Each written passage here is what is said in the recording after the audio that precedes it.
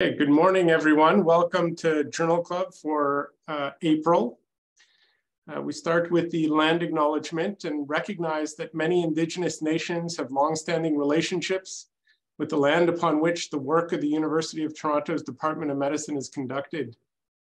We acknowledge our presence on the traditional territory of many Indigenous nations, including the Mississauga, the Credit, the Anishinaabeg, the Chippewa, the Haudenosaunee, and the Wendat peoples.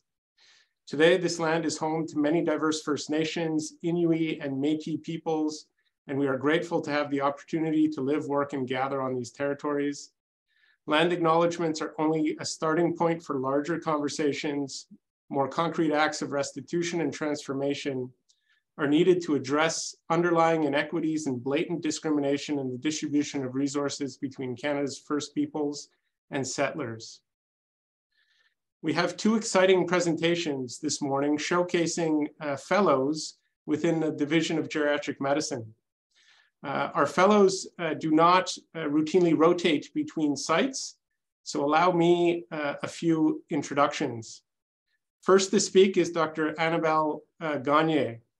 Anabel has an undergraduate degree in physiotherapy from Sherbrooke University and completed her medical training internal medicine and geriatric medicine subspecialty training at Laval University in Quebec City. She is two months away from completing a geriatric rehabilitation fellowship here at U of T and has plans to practice at an academic center on the south shore of Quebec City, uh, the historic Lévis, uh, Quebec.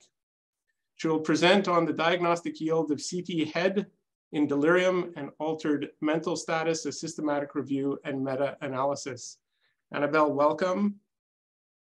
And let me share my screen. Yes. Perfect. Okay, good morning, everyone. So let's start. I have a couple of slides to present to you this morning. So, so the article that I'm going to present you was from a group from McGill University in Montreal, was presented and published in the JAGS in October 2022. So I have no conflicts of interest except that I chose an article from the province of Quebec, where I'm from. In terms of the outline, it was it was it's going to be a regular like presentation regarding the article. So let's start with a little bit of background from that we all things that we already know, I think, regarding delirium, but it's good refresher for our brain. So we know that delirium is the most common neurological disorder in the hospitalized setting. You know, we know that the occurrence of delirium in a hospital is estimated to 23% in all comers, and that there is an higher incidence in the elderly with ranges between 30 to 60% and can go up to 70, 70% in cl clinical care settings. So we also know that delirium has a negative impact on several clinical outcomes, including higher mortality rates, more medical complications, increased likelihood on being discharged to a skilled nursing facility, longer length of hospital stay, and increased costs for the healthcare system.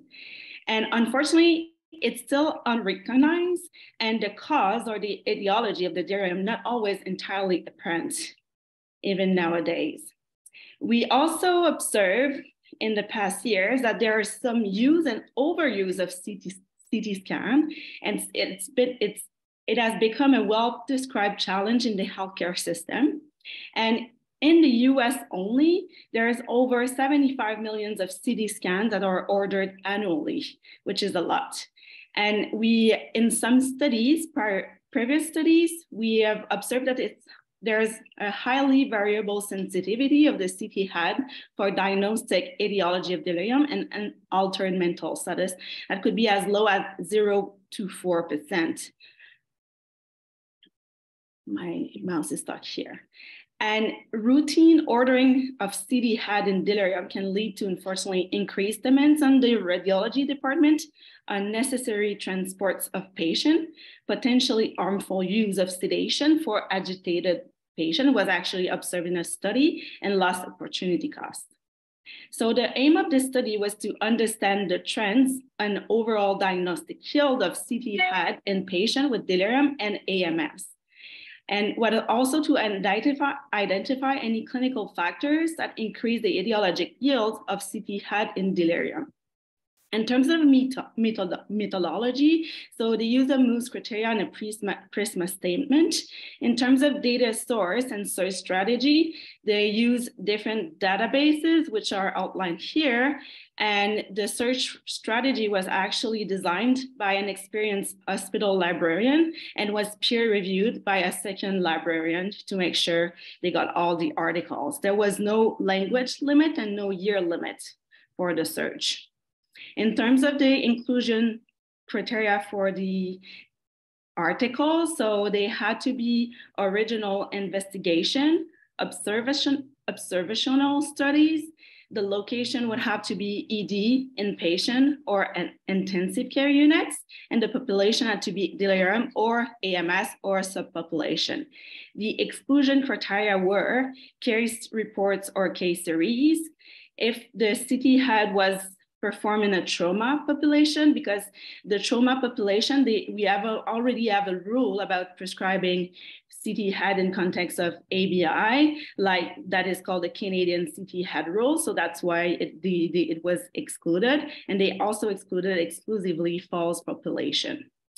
So in terms of review, they, they, they had two reviewers who independently extracted data and the discrepancies resolved by consensus and a third viewer. The primary outcome was the yield of an abnormal CT head finding.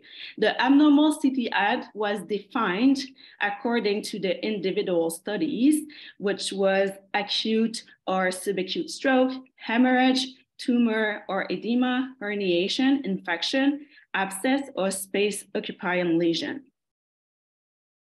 The risk of bias from the study was were evaluated with the Robbins E and grade system. And actually they, they like they dispatched the studies in four different categories depending on the population of the study. So the first category was delirium a diagnosis of delirium with or without the CAM criteria. The category two was altered mental status in medical patient. The, the third category was a very, very broad medical population that included like different like population like delirium, AMS, non-focal deficits, seizures, syncope, headache, vertigo or dizziness, and dementia. And the fourth category was any of the above, but with the presence of focal neurological deficits that was in the studies. They also did some quali qualitative search. So they, they looked at studies as well that reported factors associated with an increase or decreased CT head heel for investigation of delirium or AMS. In terms of the results, so after the duplicates were removed, it's over 9,000 studies that were that that were searched. In, so in regards to the records that were screened, so it was over 8,000 records that was that that were screened, and there was 100 26 full text articles that were assessed for eligibility. So, and 80 were excluded primary, primarily because of non-representativeness of the patient population. In total, it was 40, 46 studies that were included. In terms of the table one, so they show all of the studies that were included, which was a lot. So 46 studies. And in these studies, so there enrollment year ranged from 1984 to 2017. So the number of scans per study was, were very different, ranging from nine scans to over 4,000 scans. And most of the studies that we can see here for the risk of bias were at high risk of bias. We see it here, so high risk or very, very high risk of bias. In terms of, so in time, terms of the type of the study, there was 37 retrospective cohort studies, six pro prospective cohort studies, and three with prospective and retrospective cohorts.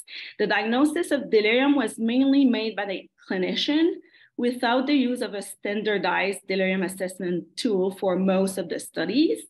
There was 31 studies that assessed factors predictors of abnormal CT head, and there was eight studies that developed or tested a clinical scoring system or predictive model for, to safely decrease the use of CT scan in the investigation of that. So it was over 20,000 patients that were included. So most of the patients were coming from ED or inpatient, and the other one were other ones were coming from the ICU, the other studies. The mean age was in most studies was over 60 years old. And in terms of the different categories here, so we can see that most of the studies were performed uh, with like this very gray definition of altered mental status. There were four studies with delirium, seven studies with the, the medical patient, and 15 studies with focal neurologi neurological deficits. In terms of the pooled yield of diagnosis for the inpatient and ED population, so, so patients, so the pooled yield of diagnostic yield for the head CT was 12.9, so close to 13% for the head CT, which is very, very low. And within in confidence interval of ranging from 10% to 16% around that. And it was considerable heterogeneity of 96%. And for the ICU population, the pooled year was 17.4 with confidence interval ranging from 10 to 26%. Once again, significant heterogeneity between the studies.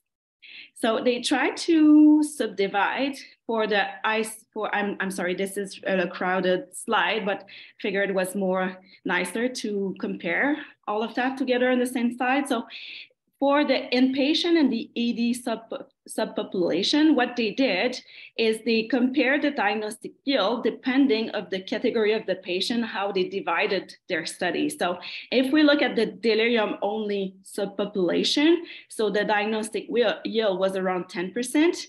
For the third category, which was altered mental status, it was around the same, 10.86. For the third category, which was the broad medical population, around 9%. And for the fourth category with focal neurological deficit, around more 13%. So we, we, we see that there's a trend towards more like increased diagnostic yield for the focal FND population, but, but there was no statistically significant differences between the categories. In terms of the qualitative findings, so it's, it's, I think it's stuff that we already know. So the predictors of abnormal CT findings were older age, altered mental status, presence of focal neurological deficit, which was the most reliable and most significant between all of the study, headache with nausea and vomiting, use of anticoagulation, but I would say like one study reported the opposite, the severely decreased LOC, history of a fall, or unusual headache. Some factors associated with a normal CT head was a delirium in the absence of FND, sepsis, absent FND along with fever or dehydration, the presence of an alternative diagnosis, and pre-existing dem dementia as well. In terms um, of the other qualitative findings, so the, in regards to the score to reduce unnecessary scans, they decided it could reduce up to 15 to 35% the use of CT head. The most recent one was developed in 2019, but it was developed with a very broad population in these studies, including AMS, delirium, seizure, headache, dizziness, vertigo. So we cannot really like really use them right now in our day-to-day -day clinical practice. So in terms of like in like nice discussion points. So what has been observed over time. So we know that there is a general tendency for healthcare providers to order CT imaging has increased over time. If we compare the diagnostic yield of the CT head in the two population, two places, so in ED inpatient versus ICU patient, the overall yield was lower in the ED inpatient, one in every eight compared to one in every five. In regards to lo localization, so the scan that was done in East Asia compared to North America, there was a higher diagnostic yield for the East Asia, going up to uh, at least 20 up to 26%. And another interesting fact is that the studies published in 2000 or prior uh, had a higher diagnostic yield as well, around 20% compared to after 2000, which was around 11%. So the CT head cannot replace the clinical judgment and the physical exam. In terms of the critical appraisal of the study, so everything was done like very was very well done in terms of the strength. So what's what are what's important to to say with this study is that it's quite a, quite of a pertinent question. I think it was nice for them to include of many studies from ver various clinical settings. There was a broad search strategy with no language restriction, no year restriction.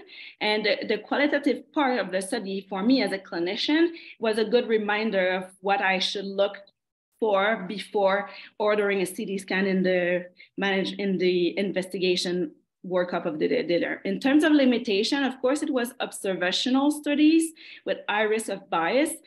And most studies did, did not adjust for confounding factors, but the yield among the studies at low risk of bias was like compared to high risk of bias was very similar. There was a high degree of heterogeneity that limits the conclusion that can be drawn from this, from this article. And the, in some of the study, there was a, as well a lack of follow-up for the patient that did not have a CT scan. And there was a very a high variability in the diagnosis of, del of, delirium using the CAM scale or no scale, and we, we don't know. So it was made by a clinician, but was it made by an emergency department doctor? Was it made by a geriatrician? So we don't know. So in terms of summary, what we should like know from the studies that the diagnostic yield of head CT for detection of abnormalities contributing to delirium or AMS in non-critical care settings was 13%, which was very low. The, having a focal neurological disorder deficit does increase the yield of CT scan in investigating the, the, the etiology for the delirium. And probably we need some guidelines and decision support tools that could improve appropriate uh, ordering of CT head especially in certain places like in the, in the emergency department. I'm gonna finish with a question for yourselves as clinician. It's a question that I've asked myself as well when I read this study. And you don't need to answer the, this question, but you can take a couple of seconds to ask yourself, are you ordering too many CT head for the investigation of delirium in your current actual practice? My answer to my question is yes, I feel like sometimes I'm treating more the doctor than the patient while ordering that, especially at during my first year of practice when I before I came to a fellowship. So it, even though the study was more like with observational studies, the diagnostic yield that's very low, it's gonna probably comfort me in not ordering CT scan of head in most of the patients that are admitted for delirium that was it. Thank you very much. Uh, beautifully presented, uh, fabulous slides uh, as well. And uh, you're right, very common for all of us to encounter uh, on a daily basis. Shabbir has uh, his hand up, go ahead. Thanks, Dove. and, and thank you, Anabel. I echo Dove's comment that it was a very nicely presented paper. Um, I have a comment and a question, or I have two questions for you. One is you say that maybe clinicians, yourself you mentioned, but I think many of us were ordering too many CT heads. I would challenge that because my question to you is how much is too much? If we think that the probability of finding an abnormal CT head is 8%, 11%, 13%, that's not low by many diagnostic criteria, where if you have an index of suspicion, commonly in clinical practice of 1 to 5% or higher, we do further testing. And yet, what I think you're suggesting is that 8 to 13% yield of a CT head is not high enough. And I would disagree with that. I'd like you to, to defend that a little more. My second question is it would be great if any of the studies looked at the yield of a CT head when an expert clinician thought they had one or more other clear causes of delirium already, post-operative state, uh, recent toxic medication, hyponatremia, etc. Did any of the studies look at that? No, the answer to the second question is that none of the study actually looked at that and it was my question but they haven't looked at that and for the first point my my point is with that so i just we just need to remember that the head CTs should not replace a good physical exam, a good neurological physical exam on our patient. And I think that in my first year of practice, I had the tendency of saying, oh, it's confused, he has delirium. So I'm just gonna make sure there's nothing there, even though my, my neurological physical exam was normal and the delirium was improving, we were like kind of trending towards ordering a CT scan as well which was not maybe not required at this time. But the data don't support that, Anabel, because the data don't differentiate broadly between abnormal mental status with or without a focal neurologic deficit. The, the yield is slightly lower if there's no focal neurologic deficit and I'm not saying I love CT scans. I think I order over order them, but I don't think these data give me confidence in saying I should not order them because the yield, even in people with non-specific abnormal mental status, is at least 8%. That's not a low yield if you had to take it to court. And I don't think the court should be the final determinant of what we do, but sadly, in many cases, it is. That's a great point, and thank you for sharing that. Thank you, and thank you. Yes, and Barry uh, has a, a, comment that was liked by several others. It would be nice to know how many of the 13% had management or outcomes changed by that CT. Um, uh, so thank you, Barry, uh, for coming back to Journal Club and, and uh, accumulating likes in your comments. And Michael Gordon, uh, hand up, go ahead. Yeah, I'm not sure how, how many people in the group have ever worked in the United States. I did one year in the United States after I trained in the UK. And the first thing I was told by a fellow intern when I said, Why are we doing this test? is he said, You have to make sure you're not going to be sued. So I would suggest that in the United States, CTs are ordered primarily to avoid litigation, which, as you know, is America's national pastime. And it would be interesting to see comparing, let's say, the United States with Australia and Canada in terms of CT scans. I do agree with Shabbir, you know, that maybe we're not over ordering if we have enough suspicion. But in my own years of practice, most of those were ordered for delirium, which we all knew as clinicians was caused by post-operative medications, et cetera, and the yield was zero. Thank you very much. Thank you for the rich uh, discussion. As a final comment before our next presentation, Dr. Amanda Goldberg, a prior subspecialty resident, I don't think she's on the line this morning, but uh, per, you know, conducted a scholarly activity project uh, locally, small sample at Sunnybrook that analyzed all the CT scan head that was done on general inpatient, in uh, general internal medicine inpatients, not the ED, just inpatients over one year. 30 of the 400 scans that were done were done for delirium specifically. Zero of them changed management. So it's local data, small sample, but addresses Barry's uh, uh, question somewhat. Go ahead, Gary. Final comment. I need to be mindful of time for our second presenter. Uh, I was struck by the slide that uh, showed uh, a yield of close to 25%, I think, in East Asia. And I'm just curious, Anabel, if there's something in the paper that would explain, are they using better AI than we are that help direct who should get the CT scan? Why do they have such a, a high yield? That's a very great question. And I asked myself, and I tried to read this supplementary appendix as well, and they did not mention that. So we're not sure. Well, it'd be nice if we can get some of that uh, special sauce. Uh... Yeah, the, the, the question was they there was like or they examine patient first. That might be the reason as well. Or they have less access to ct scans so they're more like focused on finding a focal neurolog neurological deficit. So when they chose their like ct scan in the correct population Thank you very much. For the interest of time, we will move on. And please allow me, thank you very much again, uh, Anabel, for a wonderful presentation. Uh, and comments, please welcome in the chat uh, box. Uh, allow me to introduce our second speaker, Dr. Anna Grosse, uh, is an Australian trained physician Currently PGY 7. Uh, I now learn that training is structurally longer in Australia, and she is completing both specialty training in geriatric and general internal medicine. Dr. Grosse is completing a 12-month research fellowship uh, here at U of T in Mount Sinai's Healthy Aging and Geriatrics program.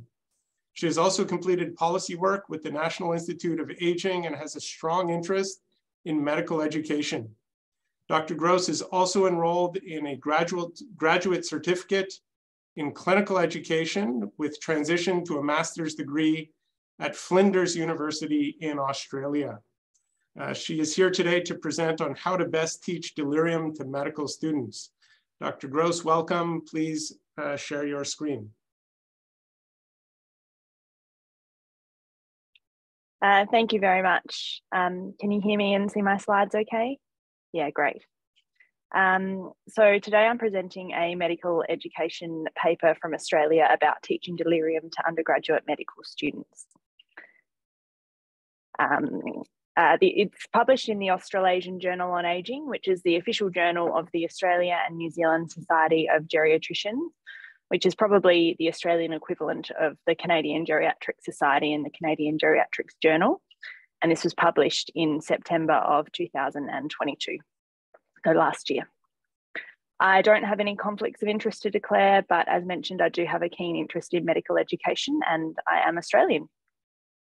So the objectives of today's presentation are to introduce the concept of a group OSCE, which was the inter interventional um, educational intervention in this study, to describe medical education in Australia as a bit of study context and for general interest, to summarise and critically appraise the study's design and its findings, and to discuss the study's implications for the proposed U of T geriatric medicine clerkship rotation that's in the process of being planned and implemented.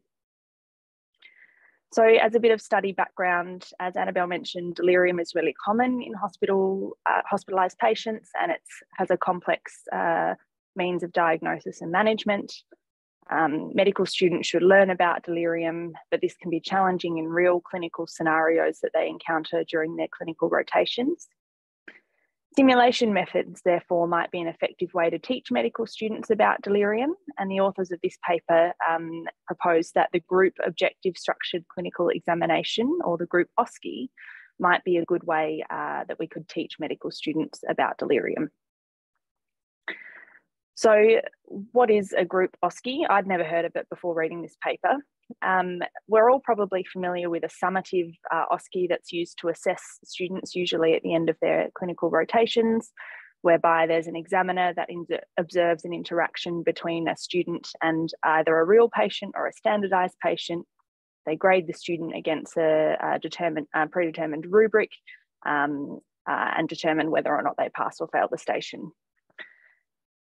A form, um, a group OSCE is a bit different. It's not a form of assessment, um, or it's a formative learning tool, and it involves significantly more students. So there's, um, in this study, there were students in group A that interacted with a standardized patient to perform a scenario, and there were two delirium related scenarios. Meanwhile, uh, group B uh, students observed um, along with a facilitator. And then Group B students provided formative um, feedback to students in Group A. And then the, then the group swapped. So the students in Group B would participate in the scenario and students in Group A would, would observe. Uh, and both the facilitator and the standardised patient in uh, this paper were uh, geriatrics nurses. So as a bit of context for this study, uh, there are 21 medical schools in Australia and they all either have an undergraduate Bachelor of Medicine, Bachelor of Surgery program or a MD program. The undergraduate degrees last for five to six years, or there's um, many universities offer a postgraduate MD program that is four years duration. During medical school, Australian medical students have to have a minimum of two years of clinical experience and rotations covering all the major disciplines. And while many universities have a geriatric medicine rotation and they're quite common, they're not mandatory for medical school accreditation, so they may not exist at all medical schools. We have approximately 3,700 graduating doctors in Australia each year, And the main difference with the Canadian training model is that our medical school graduates are undifferentiated. So they all have to complete a 12 month internship where they rotate through uh, medical and surgical specialties, as well as uh, the emergency department. Uh, and then following that, they apply to uh, complete further training in whatever specialty they choose. So bringing it back to this study, the study had two main objectives. The first was to compare the cross-professional facilitated group OSCE, um, which was an educational intervention, with standard delirium teaching uh, that the students received during their geriatrics rotation. And the second objective was to explore differences in the examiner's written feedback between the two groups. So the study utilised a non-randomised clustered controlled design and took place in Sydney, Australia, uh, at one of the undergraduate um, universities that offered um, a six year medical program. Now, this medical school had um, uh, six clinical schools. And so the population was third year medical students at these clinical schools, but they only recruited students from four out of the six clinical schools. And I think what they mean by clinical school is a teaching hospital or teaching hospital network. So at the one university, students were allocated to one of six teaching sites, um, but only on those from four clinical schools were invited to participate in this study. And they used a convenient sampling method. They just emailed all the students at those sites and asked them if they would like to participate. Um, and this took place just before the group OSCE intervention they were invited to, I'm sorry, before the um, assessment at the end of the year. So the intervention they were testing was a, was um, predominantly the geriatric nurse specialist led group OSCE, but the students in the intervention group also had um, a small group teaching session led by a geriatric nurse specialist. And then this was compared with the control of standard teaching, which was geriatrician led small group teaching sessions and geriatrician led bedside teaching. However, it wasn't guaranteed that all students would get delirium bedside teaching if there weren't appropriate patients on the ward, for example. The outcomes of this study were student performance in a single delirium case mock OSCE, and then they um, uh, looked at the quantitative examiner score as well as the qualitative um, written examiner feedback. There was a single mock OSCE examiner for all students, regardless of whether they're in the intervention or the control group. The examiner used a standard university OSCE grading rubric um, and they were blinded to the students' groups. And the OSCE itself, the station, uh, was approved, was peer reviewed by the university's educational um, committee. So this is a, um, a diagrammatic representation of the study design. So students uh, were split into either intervention or control group. All of them had a didactic lecture on delirium uh, prior to the start of their clinical placement. Then this um, box highlighted in blue is where the groups differ. So the intervention group had small group teaching by an aged care nurse, as well as the group OSCE, while the control group had small group teaching by a geriatrician and bedside teaching by a geriatrician if there were appropriate patients. Then uh, both groups of students had supervised ward rounds and the opportunity to independently review patients. And then following their four week clinical rotation, they had um, a case method tutorial, which was like a collaborative tutorial where students from multiple sites come together and discuss a delirium case. And then uh, at the end of the academic year, uh, the students were invited to participate in a group, um, I'm sorry, not a group, in a mock um, summative OSCE essentially. Uh, now, this clinical rotation, um, the time between the rotation and the end of year um, mock OSCE varied. Uh, so there were four different clinical rotations throughout the year. So some students would have had their um, delirium teaching early in the year, quite far away from the delirium mock OSCE, whereas others would have had it um, a lot closer in time. So the quantitative data that was collected was the mock OSCE scores. Uh, the examiner gave students a score out of nine in five different domains on a marking rubric, and then those scores were converted to a total score out of 50 for each student. And then the group's mean scores were compared using the independent samples t-test. The qualitative data consisted of the examiner's comments, which were transcribed and then analysed by a conventional content analysis. There were 159 eligible students uh, across the four clinical schools. 70 of them replied to the email um, and sat the mock OSCE assessment and um, were included. 59% of these were in the group OSCE intervention group and 41% were in the standard teaching control group. The mean time from the completion of their delirium education, so their clinical rotation, to the mock OSCE assessment was 14 weeks for both groups, with a variation between 1 and 27 weeks, and we didn't get a breakdown of whether this differed between the two groups. Looking at the results, um, in the intervention group, they did better in the delirium case mock OSCE at the end of the year by um, an average um, increase of 2.7 points. Um, the intervention group mean score was 36.5 out of 50 and the control group was 33.8 and they both had a standard deviation of 2.9. The authors then um, also gave us uh, the quantitative scores in terms of bandings.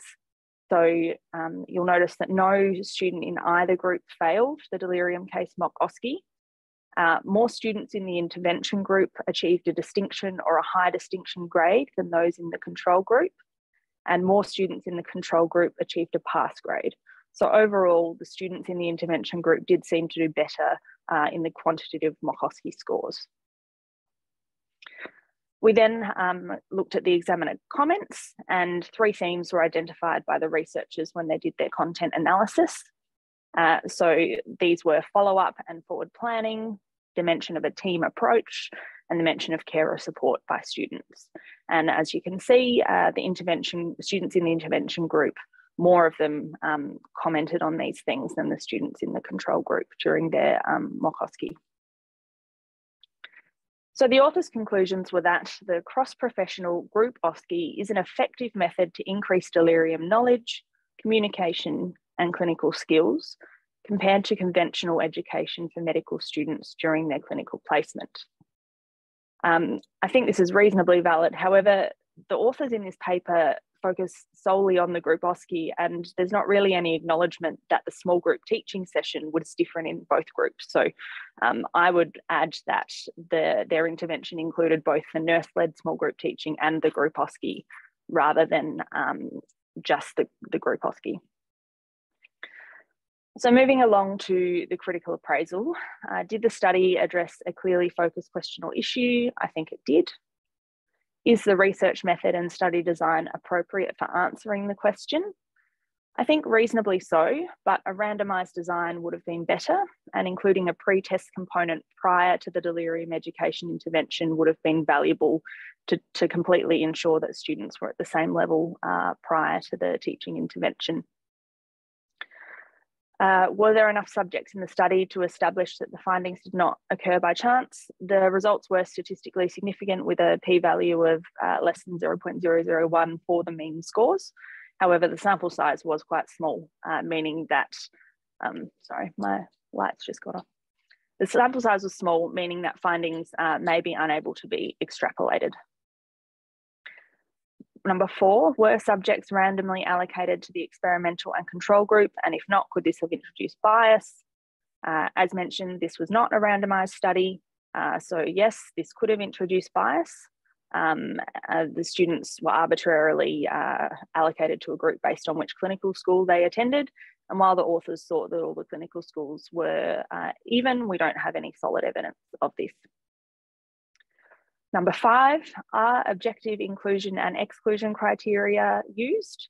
Uh, yeah, reasonably so. I think um, the inclusion criteria are quite simple. They were just third year medical students um, at these clinical schools who consented to participate and then completed the, the mock OSCE at the end of the year.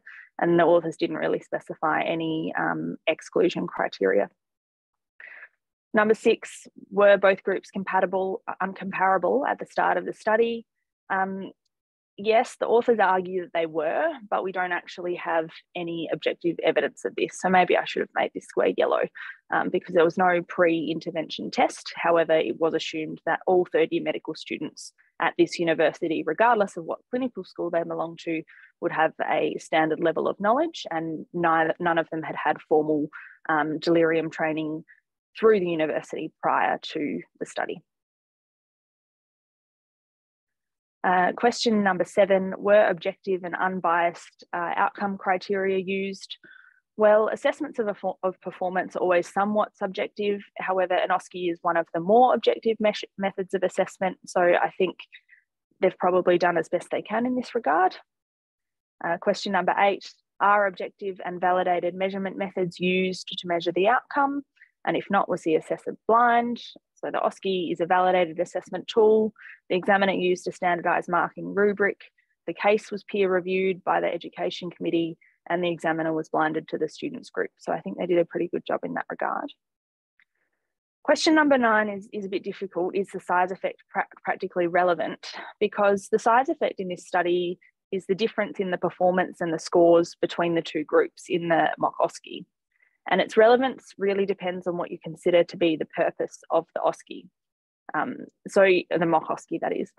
If the purpose is to ensure that students meet a minimum standard of competency, so they achieve a pass grade or higher, then these results are not particularly relevant because all of the students in both groups passed. But if the purpose of the mock OSCE is to achieve, to um, uh, get the highest score possible and the highest banding possible, which may be useful um, on a medical school transcript for getting into subsequent training, for example, then it might be relevant that the students in the intervention group uh, did a little bit better um, on their quantitative score at the end of the day. Um, uh, in Australia, most medical schools use a non-graded pass system, so that wouldn't be particularly relevant and it wouldn't be particularly um, useful to get 2.7 points higher uh, on your on your mock OSCE score if you passed. Um, but in other places, it might be more significant. And again, I guess we don't know its effect uh, on long-term outcomes. So um, it's one thing to say that they improved in what we measured here, which was their mock OSCE score, but whether this actually had meaningful translation to practice is unclear. Um, question number 10, how precise is the estimate of the effect and were confidence intervals given? Um, the, it's difficult to comment on the precision of the qualitative data, and for the quantitative data, the authors didn't provide a confidence interval for the group's means. They just gave a standard deviation. But my understanding is, and I'm happy to be corrected, but with a um, normally distributed data, 95% of the data will fall within two standard deviations of the mean. So that gives us a confidence interval of about six points or 5.8 points for both groups. And those confidence intervals do overlap. So I don't think it's particularly precise. Um, question number 11, could there be confounding factors that haven't been accounted for? Absolutely. So we don't know what students' baseline level of knowledge is. We don't know what their skills and competency were prior to this. Um, and then there might be factors aside from the teaching intervention that could have contributed to their mock OSCE results. So whether or not they had more or less multidisciplinary team involvement during their rotation or clinical exposure to particular patients or family members in the setting of a delirium.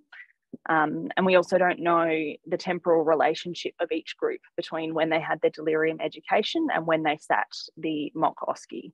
So there are certainly confounding factors here that could have influenced uh, the results. And finally, number 12, can these results be applied to your organisation? And thinking specifically about the proposed University of Toronto um, geriatrics rotation, I think there are some take home points that we will get to in the subsequent slides. Um, I've just noticed a comment in the chat by Irene about why not use special um, nurse specialists in both interventions or a geriatrician in both interventions, and I agree. Um, I, if I was designing the study, I would have kept everything the same except the group OSCE. I wonder if perhaps it was a, a staffing um, a situation whereby if the clinical nurses at one school are running um, the group OSCE, they may as well give the, the tutorial beforehand. I don't know, and the authors didn't explain it but I think it would have been better if that small group teaching was more standardized across the two groups. Uh, so my take home points from this study in the broader context are that geriatrics focused simulation training for medical students is probably beneficial and worthwhile. Overcomes the opportunistic nature of clinical placements.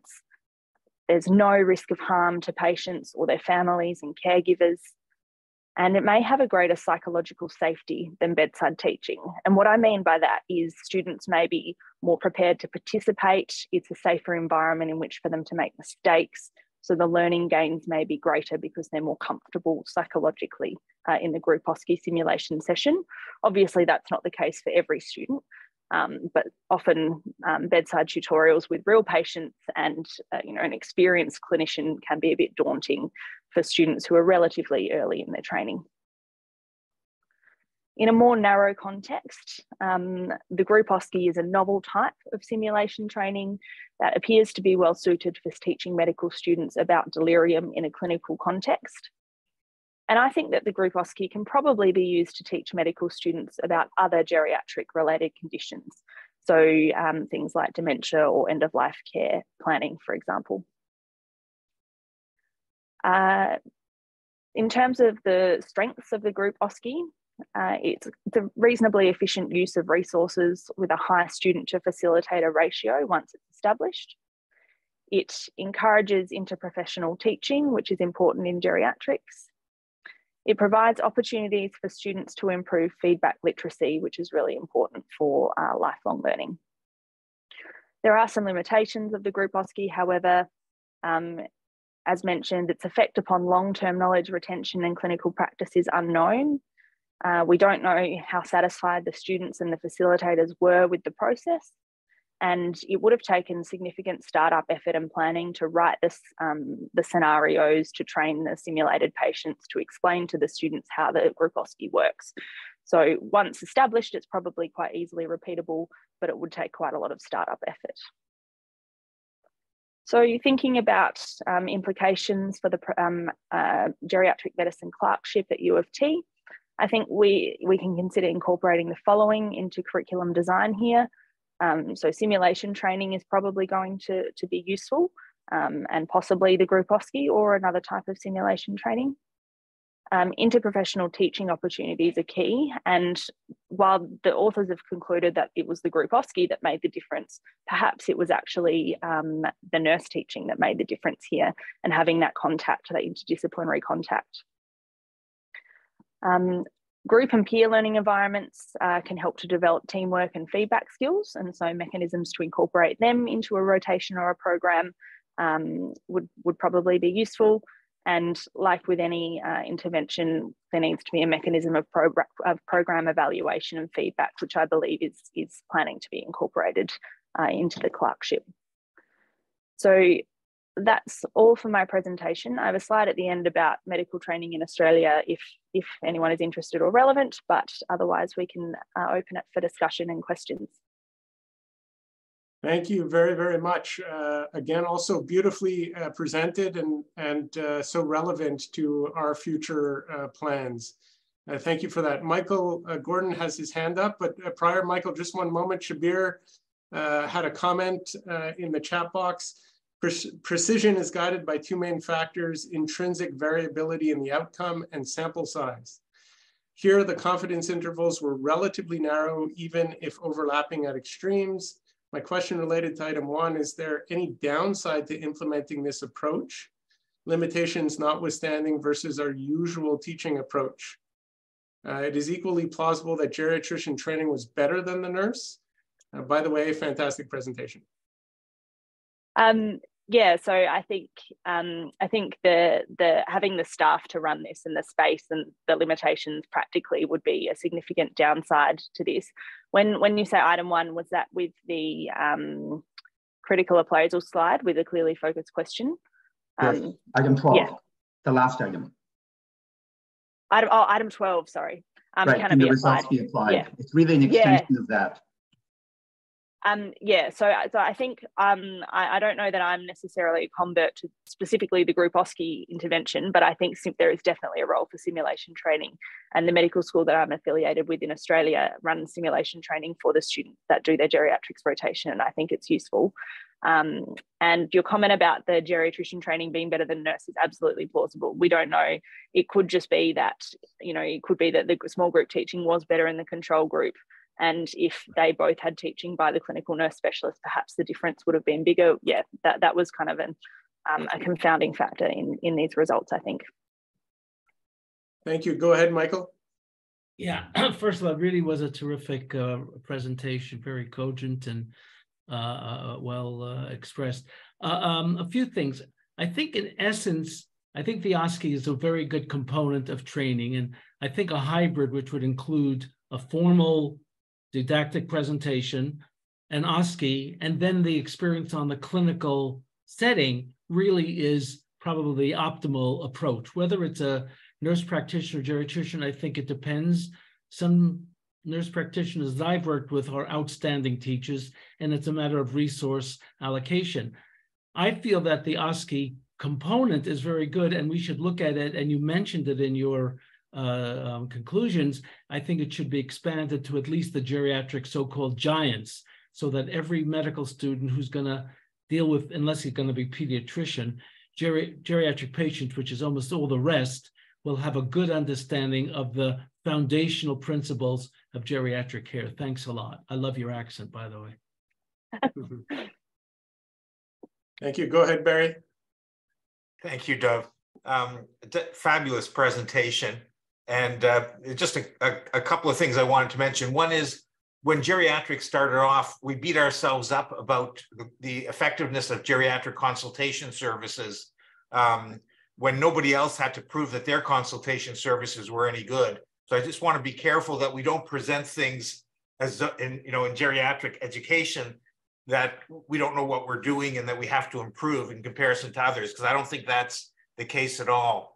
And I, I just wanted to mention briefly the, the clerkship that I, or clinical training that I noted at the, the, old Middlesex Hospital in London close to 40 years ago, where in, the, in that, in their clerkship type of environment, it was all senior health disciplines. So they had uh, medical students, uh, nurses in their final year, and therapists in their final year. I don't think they had social workers because they were in a different faculty. And they had some of their own didactic training and stuff but when it came to patients' assessments, they worked together as a team.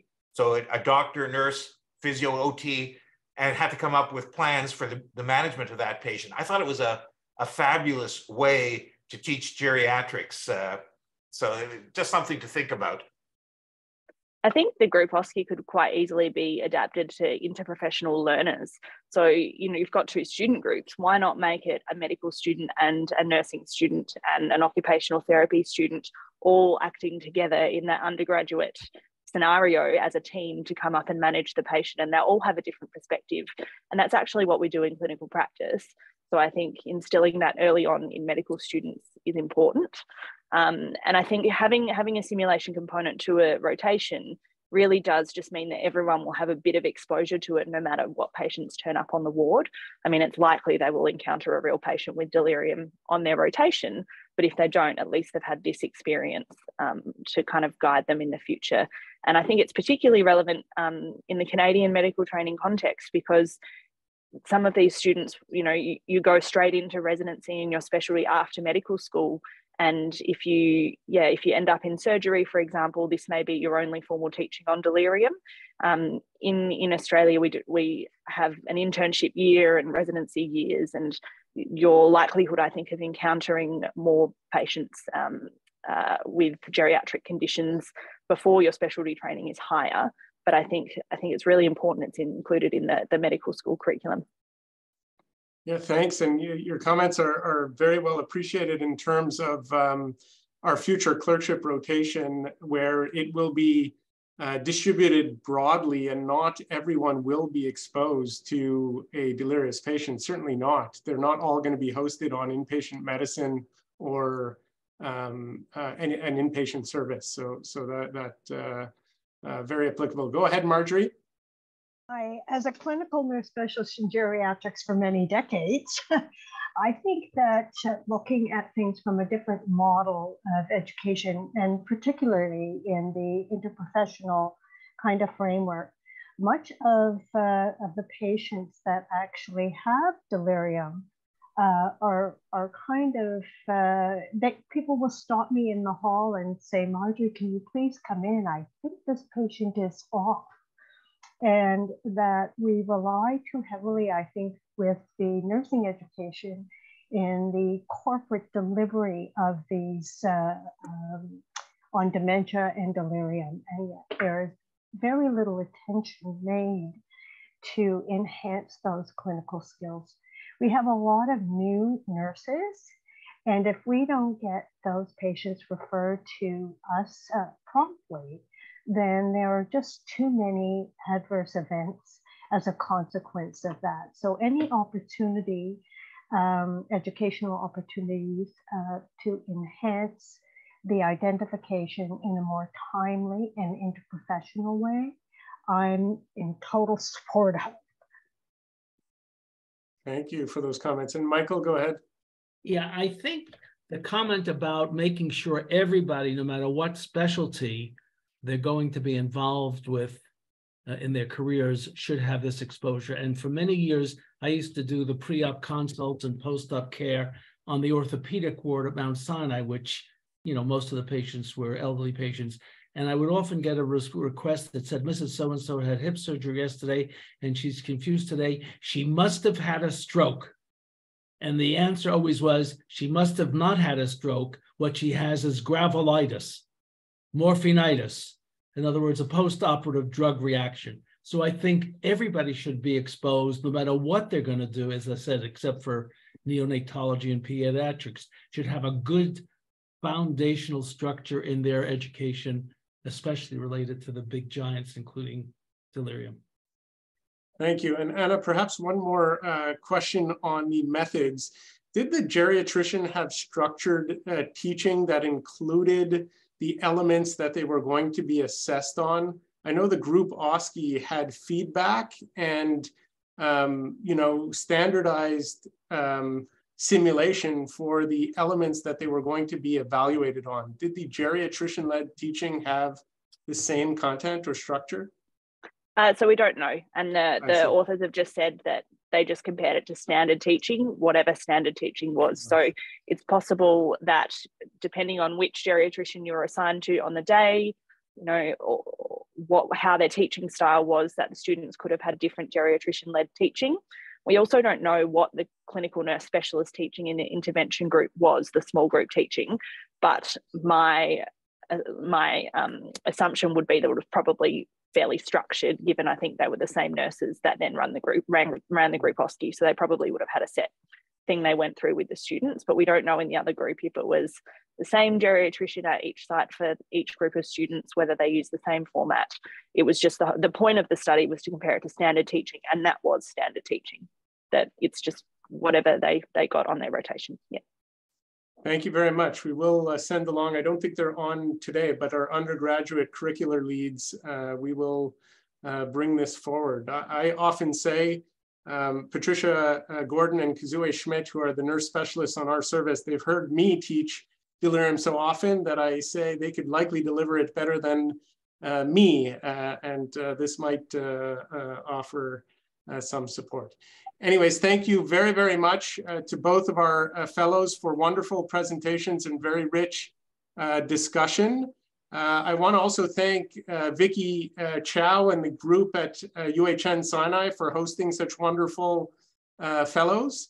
Um, and the evaluation for today's session was sent about 10 minutes ago. Please do complete them and an announcement for our upcoming geriatric medicine virtual research day on uh, Wednesday, May the 24th. If you have uh, trainees or learners with abstracts, please encourage them to submit for our annual virtual research uh, day.